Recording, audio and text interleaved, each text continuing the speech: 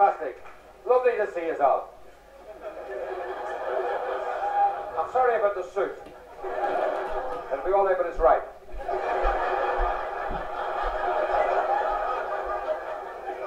Pat said to Mick, can you count? He says, of course I can. One, two, three, four, five. He says, can you count any higher? He says, yes. One, two, three, four, five.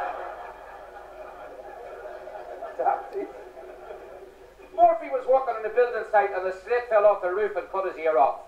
And all the lads were looking in the rubble and the sand and the cement for Murphy's ear. And Rafferty says, ear, there's an ear here, Murphy, is that your ear? Murphy says, no, mine's got a pencil behind it.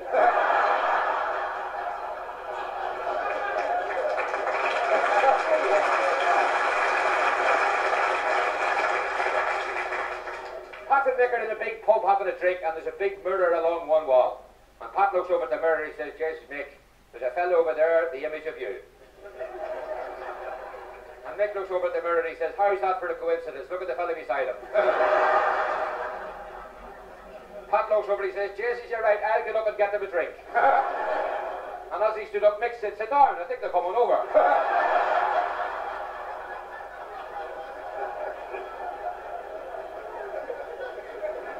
He was driving Nick down the road in his old car the other day and he went right through a set of red lights. Nick says, You've just gone through a set of red lights. He says, Don't panic. Murphy does it all the time. And they went right through the next set of red lights. He says, That's two sets of red lights you go through. You're trying to kill the pair of us. He says, Don't panic. Murphy does it all the time. And the next set of lights were on green and he stopped the car and put the brakes on. He says, You've just come through two sets of red lights. What are you stopping the green ones for? He says, Precautions. Murphy might be coming the other way.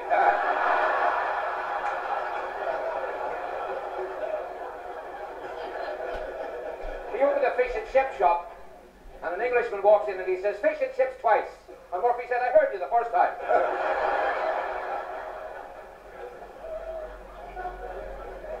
he walked into a plumber's, he says, I'd like to buy a bath. The plumber says, Would you like a plug with it? He says, Why? Is it electric?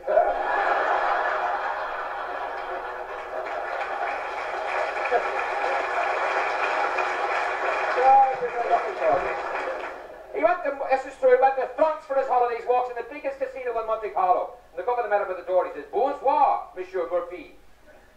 He had his wellies on, he said. Did you wish to gamble? I'd like a gamble, monsieur. He says, roulette, monsieur? Not roulette, sir. I can't count up to 36. He says, chemin de fer? He says, no, I was at the puck fair last week, sir. No, no.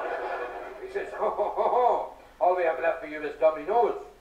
He says, he says, I like that game. That's the game of the spots, isn't it? Dominoes. He says, I like that game. He says, Monsieur, here in Monte Carlo, every spot in the dominoes is 18 carat diamonds. You will like this game. And he sits down with all these millionaire Frenchmen playing dominoes with 18 carat diamond spots. And he's losing all his money. And he's down to his last couple of francs. And he thinks to himself, I'm not going home broke. And he flicks one of these dominoes into his welly. and he hobbles all the way back to his hotel. and when he got it out, it was a double blank.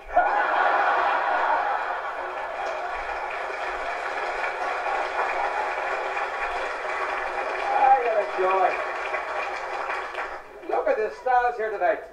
Where are you all from? Where are you from, look? Where do you come from? Prestwich. Oh, yeah? Did you read the papers this morning about Prestwich? Have just done worldwide statistics on women to find out that 90% of the women of Prestwich are unfaithful to their husbands. How about that? And the 10% who were faithful to their husbands so impressed the Archbishop of Canterbury. He sent them all a letter of congratulations each. Wasn't that nice of him?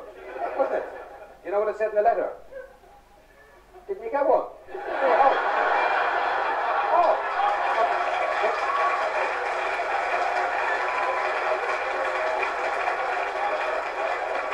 Sorry about that. It's been lovely back with you again here at, this, at the old. This is lovely, just to be here with you all. I'd like to leave you all with a thought to go home with tonight. Never put off to tomorrow what you can do tonight.